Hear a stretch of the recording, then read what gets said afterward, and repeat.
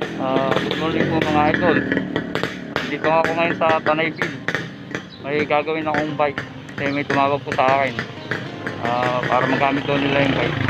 Yung gagawin ko.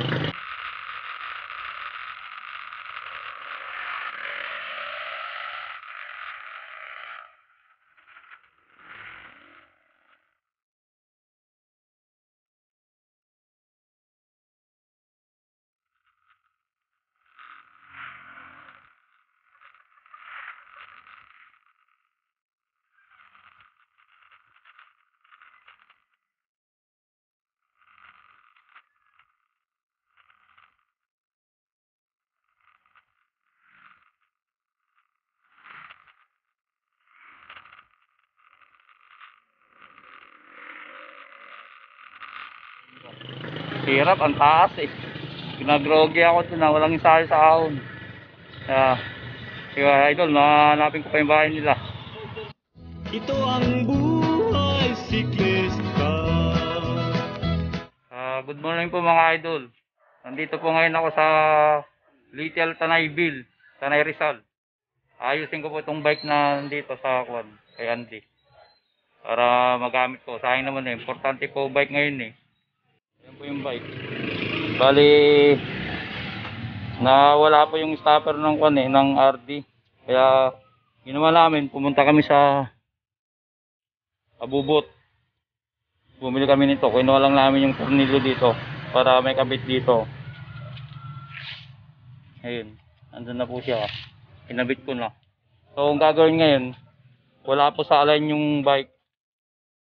Ah, wala po sa align yung bike eh. Kung mo DIY lang tayo, wala tayong jig.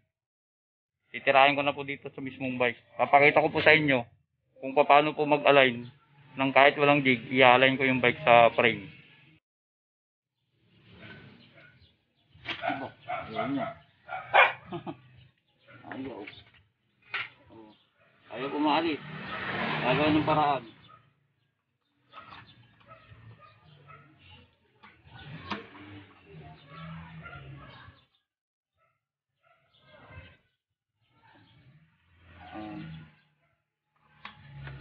Gagawa ng paraan para maalis.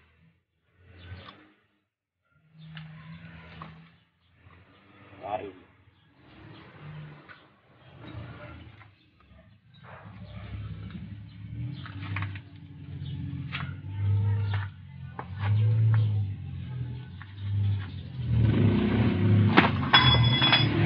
Ah, huli ko. Huli ko siya, oh. Kaya pala ako na, hindi may, may sayag. Gagawa na lang paraan mamaya yan. Walang mabilan ng pyesa. Yan, mga idol. Mahigpit. Eh, gagawa na lang paraan. Walang gamit, eh. Yan. Para maalis.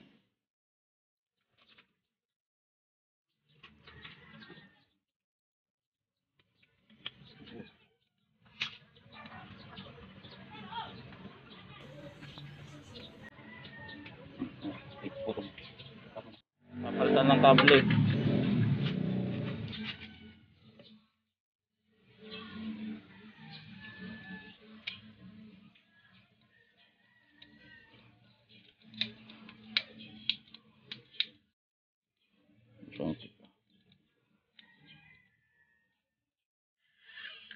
Ayan, kala ko ng bagong kable para gumana. Ayan.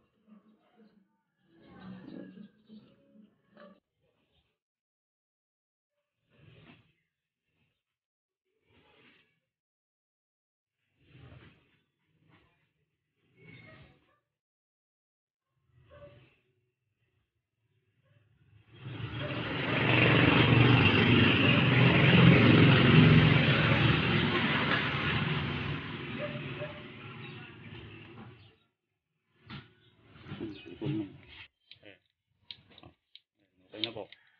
Gumagana na siya. Oh. Okay. Ayan, papalitan din ko ng kable. Sa FD. Ayan, pinakalawang.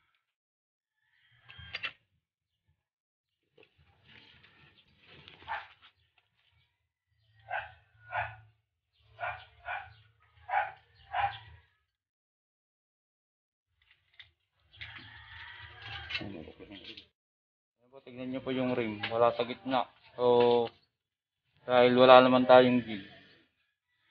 Dito ko na rin siya i-align sa frame. Para po matapos na kasi DIY lang naman po tayo eh.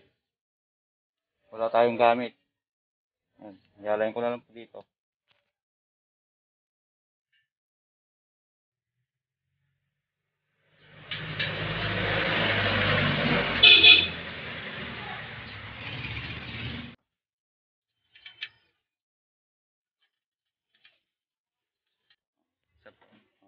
Kailangan lang mga idol, ang lalagay niyong guys, mabigat para hindi siya bumago.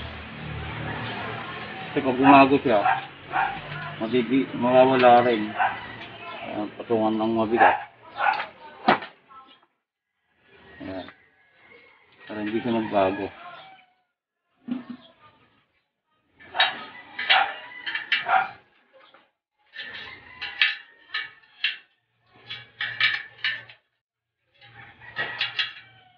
Clearance niya malayo dyan. Kailangan po nasa gitna yan eh. Kaya yun, kaya natin i-align para gumitna.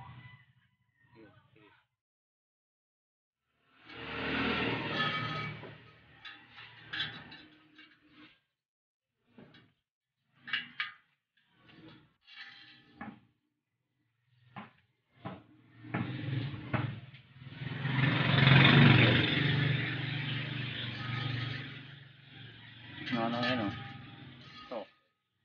Pakita mo. Na ano siya.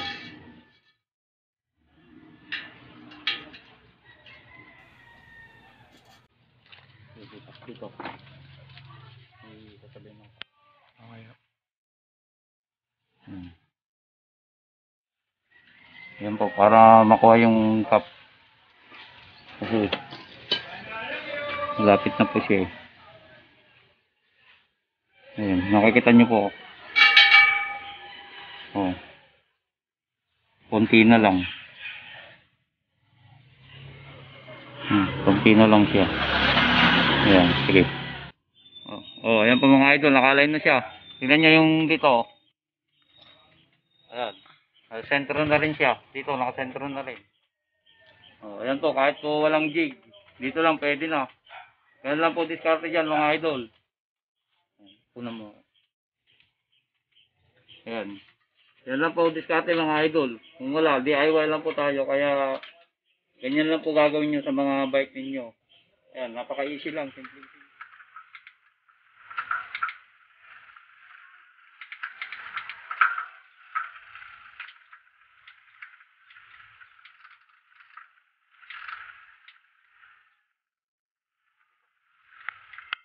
po, done na. Ah. Ayan po, done na siya. Ah, pinalitan ng hehe, kable, kiniming para magamit po sa Alay. ulit. Sakay na lang po yung gulong. Mga idol. Yan lang po, napakasimple DIY lang po tayo. Kaya kung ano yung available na gamit, yun na lang po ang ginamit ko. So kung nagustuhan niyo po ang aking video, please like and subscribe sa Kusinerong Bisiklitero. Bye-bye.